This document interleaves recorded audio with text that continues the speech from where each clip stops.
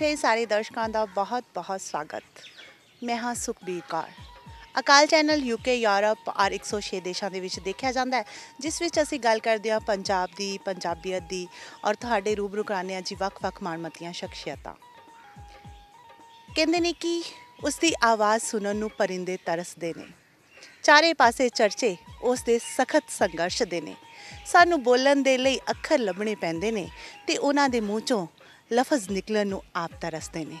ਸੋ ਅੱਜ ਜਿਸ ਸ਼ਖਸੀਅਤ ਦੇ ਰੂਬਰੂ ਅਸੀਂ ਤੁਹਾਨੂੰ ਕਰਵਾਉਣ ਜਾ ਰਹੇ ਹਾਂ, ਉਹ ਕਿਸੇ ਪਹਿਚਾਨ ਦੇ ਮੁਹਤਾਜ ਨਹੀਂ। ਮੈਨੂੰ ਤਾਂ ਸਮਝ ਨਹੀਂ ਆ ਰਹੀ ਕਿ ਮੈਂ ਉਹਨਾਂ ਲਈ ਕੀ ਕਵਾਂ। ਉਸ ਨੂੰ ਗੀਤ ਕਵਾਂ, ਕਵਿਤਾ ਕਵਾਂ, ਸ਼ਾਇਰੀ ਕਵਾਂ, ਅੰਦਾਜ਼ ਕਵਾਂ, ਆਵਾਜ਼ ਕਵਾਂ ਸੁਹੱਪਨ ਕਵਾਂ ਜਾਂ ਸਲੀਕਾ ਕਵਾਂ। ਮਤਲਬ ਸ਼ਬਦ ਛੋਟੇ ਪਿਆਰੇ ਨੇ ਉਸ ਪਰਸਨੈਲਿਟੀ ਨੂੰ ਇੰਟਰੋਡਿਊਸ ਕਰਵਾਉਣ ਦੇ ਲਈ।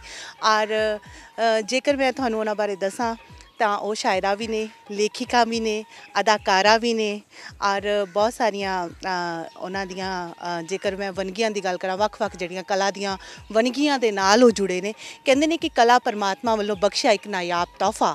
ਔਰ ਪਰਮਾਤਮਾ ਜਿਸ ਕਿਸੇ ਨੂੰ ਆਪਣੇ ਇਸ ਨਵਾ ਅ, ਤੋਹਫੇ ਦੇ ਨਾਲ ਨਵਾਜ਼ ਦਿੰਦਾ ਉਹਨੂੰ ਫਿਰ ਕਿਸੇ ਅਨਮੋਲ ਖਜ਼ਾਨੇ ਦੀ ਥੋੜ ਨਹੀਂ ਰਹਿੰਦੀ। ਜੇਕਰ ਮੈਂ ਐਂਕਰਿੰਗ ਦੀ ਗੱਲ ਕਰਾਂ ਤੇ ਪੂਰੀ ਦੁਨੀਆ ਦੇ ਵਿੱਚ ਉਹਨਾਂ ਦੀ ਹਾਂ ਮੇਰੇ ਖਿਆਲ 'ਚ ਮੇਰੇ ਦਰਸ਼ਕਾਂ ਦੇ ਚਿਹਰਿਆਂ ਤੇ ਮੁਸਕਰਾਹਟ ਆ ਗਈ ਹੈ ਉਹ ਸਮਝ ਹੀ ਗਏ ਨੇ ਕਿ ਅੱਜ ਮੈਂ ਕੇਸ ਮਾਨਮਤੀ ਸ਼ਖਸੀਅਤ ਦੇ ਰੂਬਰੂ ਉਹਨਾਂ ਨੂੰ ਕਰਵਾਉਣ ਜਾ ਰਹੀ ਹਾਂ? ਜੀ, ਬਿਲਕੁਲ ਸਹੀ ਪਛਾਣਿਆ। Queen of anchors ਤਿੰਦਰ Sati. Ma'am, ਅਸੀਂ ਤੁਹਾਡਾ ਬਹੁਤ-ਬਹੁਤ ਸਵਾਗਤ ਕਰਦੇ ਹਾਂ ਆਪਣੇ ਇਸ ਪ੍ਰੋਗਰਾਮ ਦੇ ਵਿੱਚ। ਔਰ ਤੁਹਾਨੂੰ ਵਧਾਈ ਦਿੰਦੇ ਹਾਂ ਕਿ ਇਸ ਸਮੇਂ ਤੁਹਾਡੇ ਕੋਲ ਜਿਹੜਾ ਬਹੁਤ ਹੀ ਜ਼ਿੰਮੇਵਾਰੀ ਵਾਲਾ ਅਹੁਦਾ ਹੈ, ਪੰਜਾਬ ਆਰਟਸ ਕੌਂਸਲ ਦੇ ਚੇਅਰਪਰਸਨ ਵੀ ਹੋ ਤੁਸੀਂ। ਔਰ ਸਾਡੇ ਚੈਨਲ ਦੇ ਨਾਲ ਤੁਹਾਡੀ ਪਹਿਲੀ ਮੁਲਾਕਾਤ ਹੈ। ਕਾਫੀ ਸਮ- ਮਤਲਬ ਮੋਰ ਦੈਨ 1 ਇਅਰ 1 ਇਅਰ ਦੇ ਕਰੀਬ ਤਾਂ ਹੋ ਗਿਆ ਤੁਹਾਨੂੰ ਇਸ ਅਹੁਦੇ ਤੇ ਆਇਆ ਹੋਣਾ। ਸਤਿ ਸ਼੍ਰੀ ਅਕਾਲ ਜੀ ਤੁਹਾਨੂੰ। ਔਰ ਅਕਾਲ ਚੈਨਲ ਦੇਖਣ ਵਾਲੇ ਸਾਰੇ ਜਿੰਨੇ ਵੀ ਲਿਸਨਰਸ ਨੇ ਵਿਊਅਰਸ ਨੇ, ਉਹਨਾਂ ਨੂੰ ਮੇਰੇ ਵੱਲੋਂ ਪਿਆਰ ਭਰੀ ਸਤਿ ਸ਼੍ਰੀ ਅਕਾਲ। ਮੈਮ ਸ਼ੁਰੂਆਤ ਕਰਦੇ ਹਾਂ। ਜਿਸ ਤਰ੍ਹਾਂ ਮੈਂ ਤੁਹਾਡੀਆਂ ਵੱਖ-ਵੱਖ ਜਿਹੜੀਆਂ ਵਨਗੀਆਂ ਦੀ ਗੱਲ ਕੀਤੀ, ਵਿਧਾਵਾਂ ਦੀ ਗੱਲ ਕੀਤੀ ਹੈ ਕਿ ਕਲਾ ਦੇ ਜਿਹੜੇ ਵੱਖ-ਵੱਖ ਤੁਹਾਡੇ ਦੇ ਵਿੱਚ ਪਰਮਾਤਮਾ ਨੇ ਤੁਹਾਨੂੰ ਨਵਾਜ਼ਿਆ ਵੱਖ-ਵੱਖ ਹਾਂ, ਉਹਦੇ ਤੋਂ ਜੇਕਰ ਅਸੀਂ ਗੱਲ ਕਰੀਏ ਤੇ ਅਨਜਮਿਆ ਬੋਰਡ ਤੋਂ ਜੇ ਅਸੀਂ ਸ਼ੁਰੂਆਤ ਕਰ ਲਈਏ, ਕਿਉਂਕਿ ਸਾਹਮਣੇ ਬੁੱਕ ਸਾਡੇ ਕੋਲ ਪਈ ਹੈ। ਆਪਣੇ ਦਰਸ਼ਕਾਂ ਨੂੰ ਵੀ ਮੈਂ ਦਿਖਾਉਣਾ ਚਾਹੂੰਗੀ ਔਰ ਆਨਲਾਈਨ ਵੀ ਬਹੁਤ ਸਾਰੇ ਦਰਸ਼ਕਾਂ ਨੇ ਇਸ ਦੀ ਓਪਨਿੰਗ ਸੈਰਾਮਨੀ ਵੀ ਦੇਖੀ ਹੋਏਗੀ। ਨਾਲ ਦੇ ਨਾਲ ਇਸ ਬੁੱਕ ਨੂੰ ਖਰੀਦਿਆ ਵੀ ਹੋਏਗਾ, ਪੜ੍ਹਿਆ ਵੀ ਹੋਏਗਾ। ਇੱਥੋਂ ਹੀ ਸਟਾਰਟ ਕਰਦੇ ਹਾਂ। ਕਿ ਇਹ ਜਿਹੜੀ ਬੁੱਕ ਜਿਹੜੀ ਤੁਸੀਂ ਲਿਖੀ ਹੈ ਇਸ ਦਾ ਕੀ ਤਜਰਬਾ ਹੈ?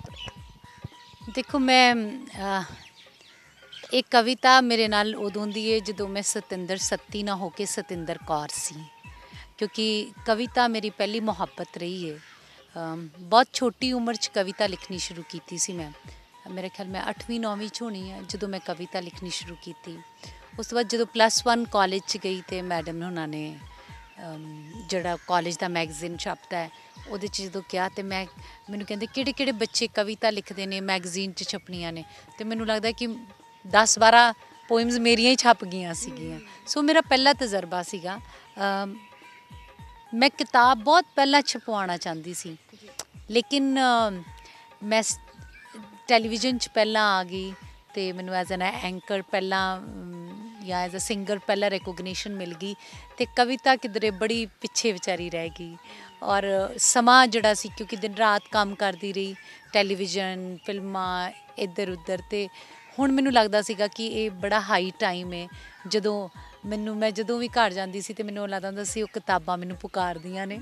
ਤੇ ਮੈਂ ਫਿਰ ਸੋਚਿਆ ਕਿ ਹੁਣ ਇਹਨਾਂ ਨੂੰ ਕਿਤਾਬ ਬੰਦ ਕਰਕੇ ਲੋਕਾਂ ਤੱਕ ਪਹੁੰਚਾ ਦੇਣਾ ਚਾਹੀਦਾ। ਤੇ ਅਜਨਮਿਆ ਬੋਰਡ ਦਾ ਫੀਮੇਲ ਫਿਟੀਸਾਈਡ ਦੇ ਉੱਪਰ ਇਹ ਮੇਰੀ ਪੋਇਮ ਸੀ ਜਿਹੜੀ ਮੈਂ ਯੂਨੀਵਰਸਿਟੀ ਚ ਗੁਰੂ ਨਾਨਕ ਦੇਵ ਯੂਨੀਵਰਸਿਟੀ ਦੇ ਵਿੱਚ ਆਰਰ ਬਾਵਾ ਕਾਲਜ ਚ ਪੜ੍ਹਦੀ ਸੀ ਤੇ ਪਹਿਲੀ ਵਾਰ ਯੂਨੀਵਰਸਿਟੀ ਗਈ ਸੀ ਤੇ ਉਦੋਂ ਮੈਂ ਇੱਕ ਪੋਇਮ ਪੜ੍ਹੀ ਸੀਗੀ। ਤੇ ਇਸ ਪੋਇਮ ਦੇ ਕਰਕੇ ਮੇਰੀ ਬੜੀ ਉੱਥੇ ਜਿਹਨੂੰ ਕਹਿ ਸਕਦੇ ਬੜੀ ਮਕਬੂਲੀਅਤ ਹੋਈ ਸੀਗੀ, ਮਾਲਕ ਨੇ ਬੜੀ ਕਿਰਪਾ ਕੀਤੀ ਸੀ ਤੇ ਇਹਨੇ ਮੈਨੂੰ ਬੜਾ ਰੈਕੋਗਨੀਸ਼ਨ ਦਿੱਤੀ ਸੀਗੀ। ਮੈਂ ਇਸ ਕਰਕੇ ਸੋਚਿਆ ਸੀ ਜਦੋਂ ਵੀ ਮੈਂ ਕਦੀ ਕਿਤਾਬ ਛਾਪਾਂਗੀ ਤੇ ਇਸ ਕਵਿਤਾ ਦੇ ਉਨਮਾਨ ਨਾਲ ਛਾਪਾਂਗੀ। ਠੀਕ ਹੈ ਜੀ। ਇਸ ਦੇ ਵਿੱਚ ਹੋਰ ਵੀ ਬਹੁਤ ਸਾਰੇ ਤਜਰਬੇ ਨੇ। ਜਿਸ ਤਰ੍ਹਾਂ ਮੈਂ ਇੱਕ ਅ, ਇਸ ਦੀ ਅ, ਕਵਿਤਾ ਪੜ੍ਹੀ ਸੀਗੀ ਮੈਂ ਵੀ ਤੇ ਇਨਸਾਨ ਹਾਂ ਸ਼ੈਤਾਨ ਹਾਂ ਸ਼ਾਇਦ ਥੋੜੀ ਜੀ ਸ਼ੈਤਾਨ ਹਾਂ ਉਹਦੀਆਂ ਦੋ ਲਾਈਨਾਂ। ਅ, ਮੰਨਦੀ ਹਾਂ ਕਿ ਦੁਨੀਆ ਦੇ ਰੰਗ ਵੇਖ ਕੇ ਹੈਰਾਨ ਹਾਂ। ਦੁਨੀਆ ਦੇ ਰੰਗ ਵੇਖ ਕੇ ਹੈਰਾਨ ਹਾਂ ਪਰ ਮੰਨਦੀ ਹਾਂ ਹਜ਼ੂਰ ਹੁਣ ਤੇ ਥੋੜੀ ਜਿਹੀ ਮੈਂ ਵੀ ਸ਼ੈਤਾਨ ਹਾਂ। ਹੁਣ ਕੋਈ ਮਰ ਜਾਵੇ ਤੇ ਮੈਂ ਵੀ ਝੱਟ ਪਾਸਾ ਮੋੜ ਲੈਨੀ ਹਾਂ। ਕੋਈ ਮਰ ਜਾਵੇ ਤਾਂ ਮੈਂ ਵੀ ਝੱਟ ਪਾਸਾ ਮੜ- ਮੋੜ ਲੈਨੀ ਹਾਂ। ਕਿਉਂਕਿ ਦੁਨੀਆ ਦੇ ਰੰਗ ਵਿੱਚ ਰੰਗੀ ਹੋਈ, ਉਹਨਾਂ ਦੀ ਹੀ ਇੱਕ ਸੰਤਾਨ ਹਾਂ। ਕੋਈ ਬੱਚਾ ਡਿੱਗਿਆ, ਮੈਂ ਘੁੱਟ ਕਲੇਜੇ ਨਾਲ ਲਾ ਲਿਆ। ਕੋਈ ਬੱਚਾ ਡਿੱਗਿਆ, ਮੈਂ ਘੁੱਟ ਕਲੇਜੇ ਨਾਲ ਲਾ ਲਿਆ। ਕੀ ਕਰਾਂ? ਅਜੇ ਵੀ ਬੱਚੀ ਖੁਚੀ ਥੋੜੀ ਜਿਹੀ ਤੇ ਇਨਸਾਨ ਹਾਂ। ਕਿਉਂਕਿ ਮੈਨੂੰ ਲੱਗਦਾ ਸੀ ਇਹ ਕਵਿਤਾ ਮੈਂ ਇੱਕ ਵਾਰ ਯੂਨੀਵਰਸਿਟੀ ਤੋਂ ਬਟਾਲੇ ਬੱਸ 'ਚ ਪੜਨ ਜਾਂਦੀ ਸੀ ਤੇ ਮੈਂ ਰਾਹ ਵਿੱਚ ਦੇਖਿਆ ਕਿ ਇੱਕ ਵਾਰ ਸ਼ੁਰੂ ਸ਼ੁਰੂ ਵਿੱਚ ਜਦੋਂ ਐਕਸੀਡੈਂਟ ਪਹਿਲੀ ਵਾਰ ਜਦੋਂ ਮੈਂ ਐਕਸੀਡੈਂਟ ਦੇਖਿਆ ਤੇ ਮੈਨੂੰ ਮੈਂ ਡਰਾਈਵਰ ਨੂੰ ਕਿਹਾ, ਬੱਸ ਰੋਕੋ ਬੱਸ ਰੋਕੋ ਭਾਜੀ, ਐਕਸੀਡੈਂਟ ਹੋ ਗਿਆ, ਸਾਨੂੰ ਹੈਲਪ ਕਰਨੀ ਚਾਹੀਦੀ ਇਹਨਾਂ ਲੋਕਾਂ ਦੀ। ਉਹ ਕਹਿੰਦਾ, ਬੇਟਾ ਤੁਸੀਂ ਵਿੱਚ ਬੈਠੇ ਰਹੋ, ਟਾਈਮ ਹੈਗਾ ਨਹੀਂ ਹੈ, ਇਹ ਆਪੇ ਉਹਨਾਂ ਨੇ ਆ ਕੇ ਤੁਹਾਡਾ ਕੰਮ ਨਹੀਂ ਹੈ। ਫਿਰ 2-3 ਸਾਲ ਬਾਅਦ ਜਦੋਂ ਐਕਸੀਡੈਂਟ ਹੋਇਆ ਤੇ ਫਿਰ ਮੈਂ ਉਹਨੂੰ ਡਰਾਈਵਰ ਨੂੰ ਕੁਝ ਕਿਹਾ ਹੀ ਨਹੀਂ। ਪਰ ਉਹ ਕਿਧਰੇ ਨਾ ਕਿਧਰੇ ਸੰਵੇਦਨਾ ਸੀ ਤੇ ਮੈਂ ਘਰ ਜਾ ਕੇ ਇੱਕ ਕਵਿਤਾ ਲਿਖੀ ਕਿ ਸਮੇਂ ਦੇ ਅਨੁਸਾਰ ਇਨਸਾਨ ਕਿੱਦਾਂ ਬਣ ਜਾਂਦਾ ਹੈ। ਸੋ ਇਸ ਕਵਿਤਾ, ਇਹਦੇ ਵਿੱਚ ਜਿਹੜੀਆਂ ਕਵਿਤਾਵਾਂ ਨੇ ਉਹ ਮੋਰ ਲਾਈਕ ਮੇਰੀ ਆਟੋਬਾਇਓਗ੍ਰਾਫੀ ਟਾਈਪ ਨੇ, ਜਿਹਦੇ ਚ ਮੇਰੇ ਵੱਖ-ਵੱਖ ਤਜਰਬੇ ਜ਼ਿੰਦਗੀ ਦੇ। ਜਦੋਂ ਮੈਂ ਦੂਰਦਰਸ਼ਨ ਪਹਿਲੀ ਵਾਰ ਆਈ ਤੇ ਕਿਵੇਂ ਦਾ ਮਹਿਸੂਸ ਕੀਤਾ। ਜਦੋਂ ਮੈਂ ਬੰਬੇ ਲੋਕਲ ਟ੍ਰੇਨ 'ਚ ਪਹਿਲੀ ਵਾਰੀ ਇਹ 'ਚ ਕਵਿਤਾ ਹੈ ਸਮਝੌਤਾ। ਉਹ ਹਾਂਜੀ ਮੈਮ, ਗੱਲ ਕਰ ਰਿਹਾ ਜੀ ਤੁਹਾਡੀਆਂ ਜਿਹੜੀਆਂ ਕਿਤਾਬ ਕਿਤਾਬਾਂ ਛਪਣ ਜਾ ਰਹੀਆਂ ਨੇ ਔਰ ਜਦੋਂ ਉਹ ਤੁਹਾਡੀ ਕਲਮ ਤੋਂ ਨਿਕਲੇਗਾ ਤੇ ਮੇਰੇ ਖਿਆਲ ਦੇ ਵਿੱਚ ਉਹਦਾ ਅੰਦਾਜ਼ ਵੀ ਵੱਖਰਾ ਹੋਏਗਾ ਔਰ ਸਾਨੂੰ ਸਿੱਖਣ ਨੂੰ ਬਹੁਤ ਕੁਝ ਮਿਲੇਗਾ ਉਹਦੇ ਚੋਂ। ਔਰ ਇਹ ਤਾਂ ਰਹੀ ਗੱਲ ਸਾਡੀ ਜਿਹੜੀ ਤੂੰ ਤੁਹਾਡੀ ਕਲਮ ਤੋਂ ਸੀਗਾ। ਉਸ ਤੋਂ ਬਾਅਦ ਜੇ ਗੱਲ ਕਰੀਏ ਐਂਕਰਿੰਗ ਐਂਕਰਿੰਗਸ ਬ੍ਰੇਕ ਬਹੁਤ ਸਾਰੀਆਂ ਇੰਟਰਵਿਊਜ਼ ਦੇ ਵਿੱਚ ਤੁਸੀਂ ਦੱਸਿਆ ਕਿ ਅਜੀਤ ਅਦਾਰੇ ਨੇ ਤੁਹਾਨੂੰ ਜਿਹੜੀ ਉਹ ਸਫ਼ਰ ਐਸਾ ਚੱਲਿਆ, ਫਿਰ ਫਿਲਮਾਂ 'ਚ ਤੁਸੀਂ ਬਹੁਤ ਦੇਰ ਬਾਅਦ ਆਂ ਫਿਰ, ਹਾਂ ਸਿੰਗਿੰਗ ਦੇ ਵਿੱਚ ਫਿਰ ਤੁਸੀਂ ਆਏ, ਉਸ ਤੋਂ ਬਾਅਦ ਫਿਲਮਾਂ ਦੇ ਵਿੱਚ ਵਿਕ ਵਿੱਚ ਕੀ ਪਲੈਨਿੰਗਸ ਨੇ ਹੋਰ? ਫਿਲਮ ਇੱਕ ਬਣ ਕੇ ਤਿਆਰ ਹੈ ਦਾ ਯੂਥ ਡਰੱਗਸ ਦੇ ਉੱਪਰ ਉਹ ਰਿਲੀਜ਼ ਹੋ ਜਾਏਗੀ। ਦੂਸਰੀ ਫਿਲਮ ਮੈਂ ਹੁਣੇ ਜੁਆਇਨ ਸਾਈਨ ਕੀਤੀ ਹੈ, ਰੇਡੂਆ, ਪਹਿਲੀ ਪੰਜਾਬ ਦੀ ਸਾਇੰਸ ਫਿਕਸ਼ਨ ਹੈ। ਸੋ ਉਹ- ਉਹ ਵੀ ਮੇਰੇ ਖਿਆਲ ਉਹਦੀ ਇਸ ਮਹੀਨੇ ਜਾਂ ਅਗਲੇ ਮਹੀਨੇ ਸ਼ੂਟਿੰਗ ਜਿਹੜੀ ਉਹ ਸ਼ੁਰੂ ਕਰ ਰਹੇ ਆ। ਸੋ 뮤직 ਟਰੈਕਸ ਨੇ, ਉਹਦੇ ਨਾਲ ਨਾਲ ਪੰਜਾਬ ਆਰਟਸ ਕੌਂਸਲ ਦੀ ਜ਼ਿੰਮੇਵਾਰੀ ਹੁਣ ਪੈ ਗਈ ਹੈ ਤੇ ਥੋੜਾ ਜਿਹਾ ਕੰਮ ਜਿਹੜਾ ਹੈ ਉਹ ਇੱਧਰ ਵੀ ਫੋਕਸ ਮੈਨੂੰ ਜ਼ਿਆਦਾ ਕਰਨਾ ਪੈਂਦਾ ਹੈ। ਸੋ ਬਹੁਤ ਸਾਰੀਆਂ ਚੀਜ਼ਾਂ ਨੇ ਕਿਉਂਕਿ ਕਲਾਕਾਰ ਜਿਹੜਾ ਹੈ ਉਹਦੀਆਂ, ਉਹਨੂੰ ਉੱਡਣ ਦੇ ਲਈ ਹਮੇਸ਼ਾ ਹੀ ਅਸਮਾਨ ਚਾਹੀਦਾ ਹੁੰਦਾ ਹੈ। ਔਰ ਮੈਂ ਹਮੇਸ਼ਾ ਕੋਸ਼ਿਸ਼ ਕੀਤੀ ਹੈ ਕਿ ਕੁਝ ਨਾ ਕੁਝ ਚੰਗਾ ਜ਼ਰੂਰ ਜਿਹੜਾ ਉਹ ਸਿਰਜਦੀ ਰਵਾਂ, ਚਾਹੇ ਕਿਤਾਬਾਂ ਦੇ ਰੂਪ 'ਚ ਚਾਹੇ ਉਹ ਐਂਕਰਿੰਗ ਦੇ ਰੂਪ 'ਚ ਤੇ ਚਾਹੇ ਉਹ ਫਿਲਮਾਂ ਦੇ ਰੂਪ 'ਚ ਚਾਹੇ ਉਹ ਗਾਣਿਆਂ ਦੇ ਰੂਪ 'ਚ ਸੋ ਕੋਸ਼ਿਸ਼ ਕਰ ਰਹੀ ਹਾਂ ਮੈਂ। ਠੀਕ ਹੈ ਮੈਮ ਤੁਸੀਂ ਗੱਲ ਕੀਤੀ ਹੈ ਕਿ ਆਸਮਾਨ ਚਾਹੀਦਾ ਹੈ ਉੱਡਣ ਦੇ ਲਈ। ਔਰ ਜੇਕਰ ਅਸੀਂ ਆਪਣੇ ਇਲਾਕੇ ਦੀ ਗੱਲ ਕਰੀਏ ਮਾਝਾ ਬੈਲਟ ਦੀ ਅ, ਜਿਸ ਸ਼ਹਿਰ ਤੋਂ ਹਾਂ ਅਸੀਂ ਮੈਂ, ਅ, ਗੁਰਦਾਸਪੁਰ ਤੋਂ ਮੈਂ ਤੁਸੀਂ ਬਟਾਲੇ ਤੋਂ ਮਤਲਬ ਜੇ ਅੱਜ ਵੀ ਉਹਨਾਂ ਲੋਕਾਂ ਦੀ ਸੋਚ ਦੇਖੀਏ ਤੇ ਬੜੀ ਸੰਕੁਚਿਤ ਜਿਹੀ ਸੋਚ ਹੈ।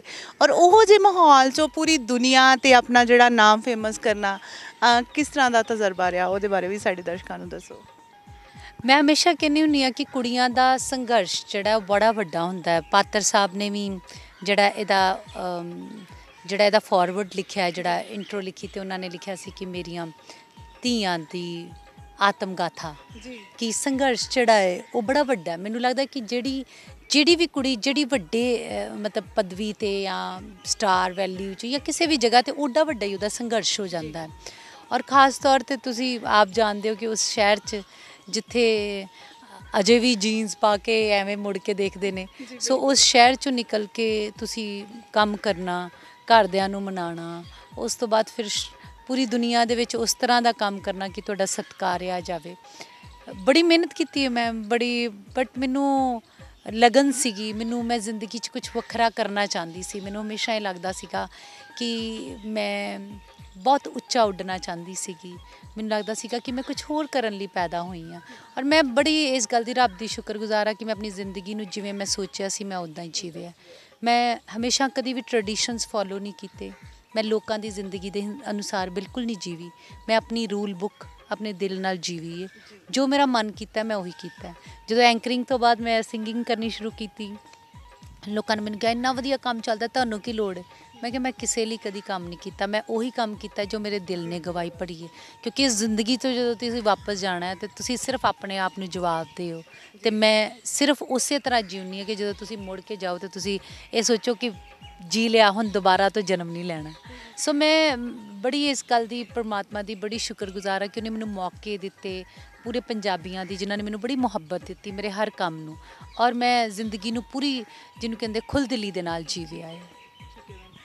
ਗੱਲ ਕਰ ਰਹੇ ਹਾਂ ਜੀ ਤੁਹਾਡੀਆਂ ਵੱਖ-ਵੱਖ ਵਿਧਾਵਾਂ ਦੀ। ਔਰ ਜਦੋਂ ਮੈਂ ਗੱਲ ਕਰਦੀ ਹਾਂ ਕਿ ਅ, ਜਿਹੜੇ ਤੁਸੀਂ ਐਂਕਰ ਜਿਹੜਾ ਤੁਹਾਡਾ ਵਰਗ ਆਉਂਦਾ ਇੱਕ ਪੜ੍ਹੇ ਲਿਖੇ ਐਂਕਰਸ ਕਿਉਂਕਿ ਨਾਰਮਲੀ ਕੀ ਹੁੰਦਾ ਹੈ ਕਿ ਕੁਝ ਲੋਕ ਮੈਂ ਸਭ ਦੀ ਤੇ ਗੱਲ ਨਹੀਂ ਕਰਦੀ ਪਰ ਕੁਝ ਪਰਸਨੈਲਿਟੀਜ਼ ਇਦਾਂ ਦੀਆਂ ਹੁੰਦੀਆਂ ਕਿ ਠੀਕ ਹੈ ਜੀ ਉਧਰ ਨਹੀਂ ਗੱਲ ਬਣੀ ਤੇ ਚਲੋ ਹੁਣ ਆਪਾਂ ਇੱਧਰਲੀ ਅਜਮਾਇਸ਼ ਕਰਕੇ ਤੇ ਅ, ਤੁਸੀਂ ਉਸ ਵਰਗ ਚ ਆਉਂਦੇ ਹੋ ਇੱਕ ਪੜ੍ਹਿਆ ਲਿਖਿਆ ਵਰਗ ਐਲਐਲਬੀ ਤੁਸੀਂ ਕੀਤੀ ਐਲਐਲਐਮ ਕੀਤੀ ਵਕੀਲਾਂ ਨੂੰ ਅ, ਪੜ੍ਹਾਉਣ ਹਾਂਜੀ ਠੀਕ ਹੈ।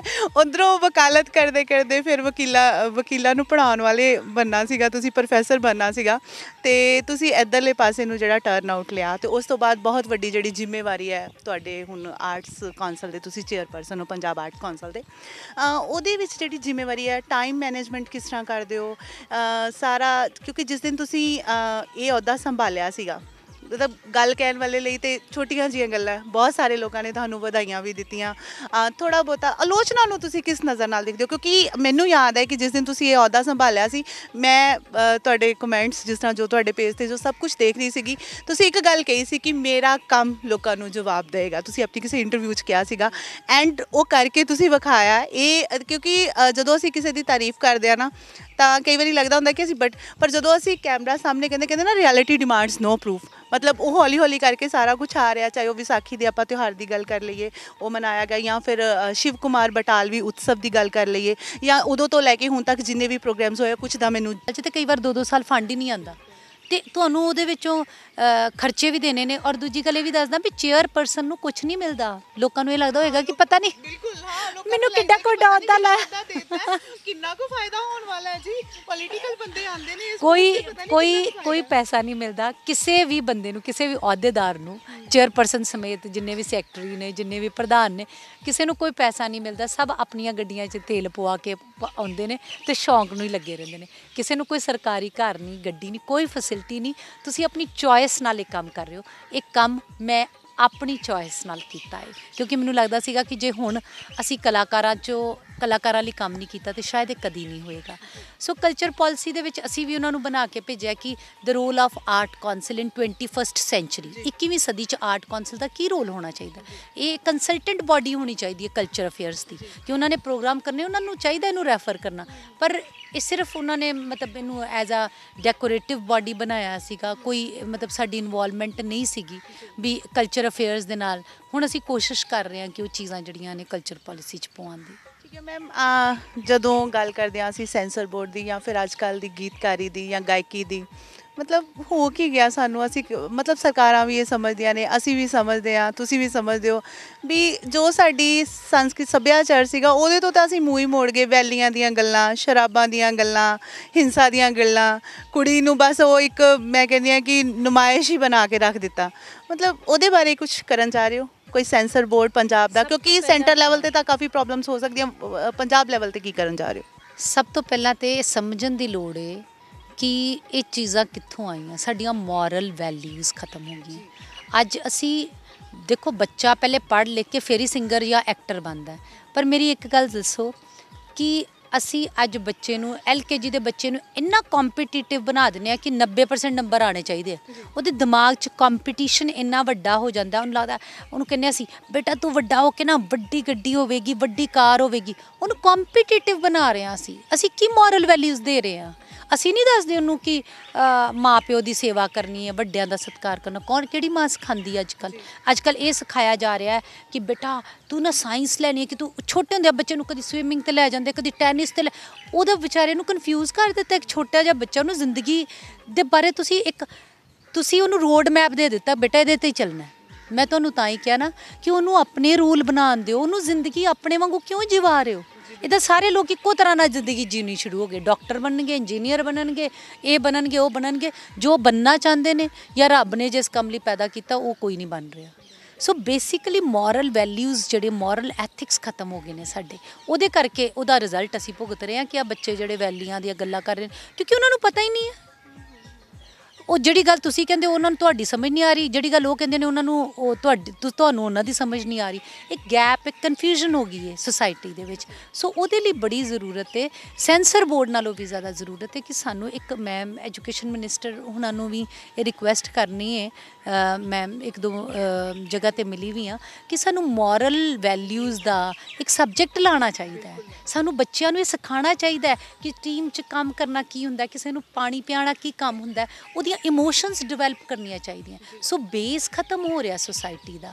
ਅਸੀਂ ਮਤਲਬ, ਅਸੀਂ ਅਮੀਰ ਤੇ ਬਹੁਤ ਬਣਾ ਰਿਹਾ, ਸਾਡਾ ਬੱਚਾ ਨਿਕਲਦਿਆਂ ਹੀ 20 ਲੱਖ ਦਾ ਪੈਕੇਜ ਲੈ ਰਿਹਾ, ਪਰ ਉਸ 20 ਲੱਖ ਦੇ ਪੈਕੇਜ ਨਾਲ ਖਰੀਦੇ ਘਰ 'ਚ ਮਾਪਿਓ ਦੀ ਜਗ੍ਹਾ ਨਹੀਂ ਹੈਗੀ।